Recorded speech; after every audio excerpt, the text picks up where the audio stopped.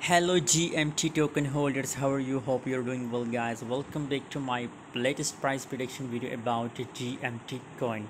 Before starting this video make sure to subscribe channel and also join my telegram group guys for free signal for free market update guys.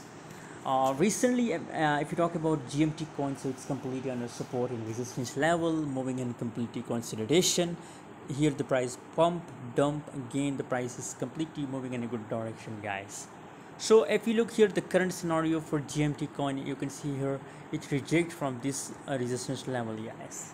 So that's mean that here is so uh, bearish guys. It's looking so bearish because you can see here uh, just look at this week. From this week we can say that the market there is high seller in the market guys. There is high selling pressure in the market. So by the way here again scenario for uh, gmt coin that a little bit from this level the price will pump and from this level again the price will start dumping guys. So my personal prediction about gmt coin is looking negative and maybe uh, the price will start dumping guys soon obviously the price will the price reject from this resistance so then it will again come back to this support level. And again from this support level scenario let's start pumping guys.